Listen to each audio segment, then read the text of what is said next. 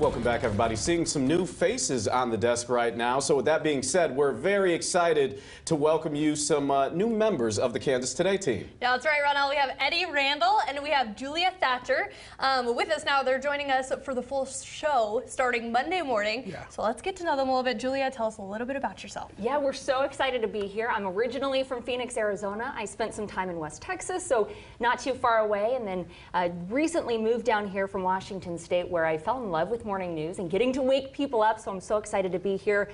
I went to the Nifty Nut House, I went to a Shockers game, so I'm getting immersed in Wichita Yeah. already. And then Eddie.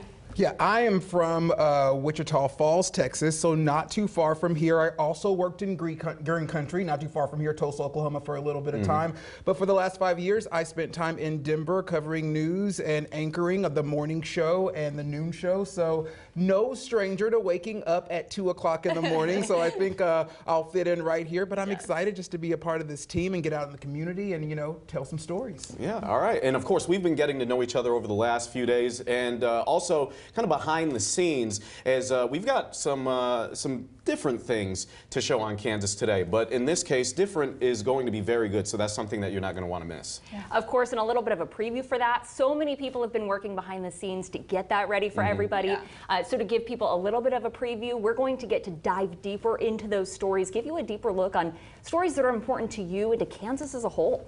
Yeah, yeah. Staying um, in with that here for you, you know, I am really excited. This is going to be uh, a, a bit of a different show, a different way of doing things, but we're so excited. I'm happy that this right here is Yeah. the team, and we're so ready just to get out of the community and just, you know, start to hear what the viewers want to see and be able to bring those stories to you. Yeah, and Hunter uh, still going to be doing a lot of that storytelling outside of the building, getting out and being able to tell a lot of those stories, your stories, I should say. Yeah, that's right. I'll be back to reporting, doing those local stories, heartfelt stories, fun stories. I know we're excited about that, but we're also going to do those important ones that are really meaningful for this community, and I'm really excited to be there to cover it. And I know you've been working hard to get some of those stories ready to go. And so Yep. I'm excited to see where you go, the stories that you tell. But it is Friday, and so we still have to get people out the door with their forecast. Oh, Yeah, that's right. All right, make sure that you're all bundled up this morning uh, as we're starting off on a frigid note once again. And it looks like uh, 8 degrees, 8 a.m. Yeah, not the best temperatures in the world, but we do have some improvements on the way. Just got to continue to pack that patience, that Arctic chill, going to gradually kind of loosen its grip across the area. And we should be able to see a nice rebound into the 30s, uh, 32 degrees by 4 o'clock.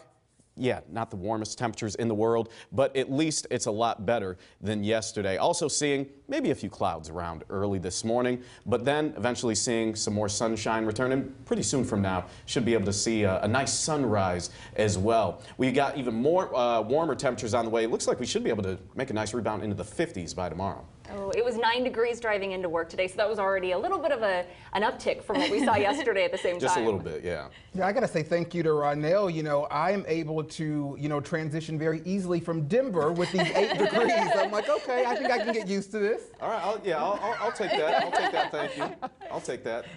I, you know what? I'm excited for Monday. I think it's going to be a really fresh start, and I'm excited to see where Yeah. we go. Me too. Yeah. Be prepared. Stay with us. The Today Show is up next. Now go make today great.